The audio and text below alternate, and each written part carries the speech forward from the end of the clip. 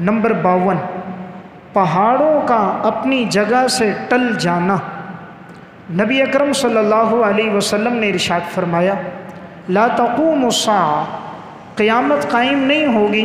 हती तजूल अलजबाल अन अमाकिन यहाँ तक के पहाड़ अपनी जगहों से टल जाएँगे। व तरौन अलूमूर और तुम देखोगे बड़ी बड़ी अलामतों को, उमूर को अल्लती लम तकून तरौनहा, कि तुमने उनसे पहले ये निशानियाँ नहीं देखी होंगी। ये रिवायत इमाम तबरानी ने अलमोजमुल कबीर में नकल फरमाई। इसमें नबी अकरम वसल्लम इरशाद फरमा रहे क़यामत कायम नहीं होगी, यहाँ तक कि पहाड़ अपनी जगह से टल जाएँगे। पहाड़ों का टलना या तो ये मुराद इससे ये है कि क़ुरब क़यामत में इसी तरह पहाड़ अपनी जगह से हिलेंगे। पहाड़ एक जगह से दूसरी जगह की तरफ़ जाएँगे। या तो ये जुमला अपनी हकीकत पे महमूल है कि पहाड़ क़ुरब क़यामत में अपनी जगह से टल जाएँगे और तुम बड़ी बड़ी निशानियों को देखोगे। या नंबर दो, इससे मुराद ये है कि आज तामीरी मंसूबों की वजह से पहाड़ों को खोदा जा रहा है। तो जब पहाड़ों को खोदा जाता है, ऐसा लग रहा है जैसे पहाड़ अपनी जगह से ख़त्म हो गए। देखें, एक वक्त था, लगता था यहाँ रास्ते नहीं हैं। आज क्रेनों की मदद से, नित नए जदीद आलात की मदद से अब पहाड़ों को अंदर ऐसे रास्ते बना दिए गए।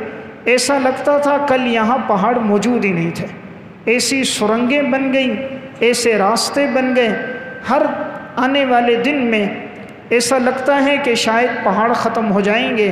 तो गोया क़ुरब क़यामत में पहाड़ अपनी जगह से टल रहे हैं। मुराद ये है कि पहाड़ों में तामीराती कामों में इस्तेमाल होने की वजह से पहाड़ बाकी नहीं रहेंगे। यह नंबर तीन। तीसरा इसका महमल ये है कि पहाड़ों के पत्थर कसरत से नीचे गिरेंगे और गिरने की वजह से पहाड़ आहिस्ता आहिस्ता ख़त्म होते जाएँगे। आज भी ऐसा होता है कि पत्थर नीचे गिरते आते हैं, रोड ब्लॉक हो जाते हैं और वहाँ के लिए सफ़र करना मुश्किल हो जाता है। ख़ास तौर पे सवात में, मेंगोरा में, कालाम में, गिलगित में, चतराल में, इस तरह के दीगर जो इलाक़ात के जो पहाड़ों के इर्द गिर्द रहने वाले लोग हैं, आए दिन सुनने में आता है पहाड़ के ऊपर से पत्थर गिरे, मट्टी गिरी और रास्ता ब्लॉक हो गया।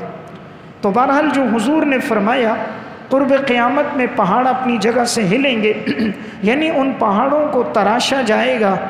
आज वही हो रहा है कि पहाड़ों में रास्ते भी बन रहे हैं, पहाड़ों को तराशा भी जा रहा है। ऐसा लगता था कि यहाँ पहाड़ मौजूद ही नहीं है। यानी दुनियावी एतबार से तरक्की इतनी आगे बढ़ जाएगी कि जिस पहाड़ को खोदना, जिस पहाड़ के पत्थरों को हिलाना इंसान के लिए बड़ा मुश्किल था।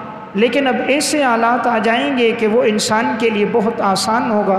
चंद दिनों के अंदर किसी पहाड़ को ख़त्म करना है तो क्रेनों के ज़रिए से ऐसे ख़त्म हो जाएँगे कि उनका नाम भी बाकी नहीं रहेगा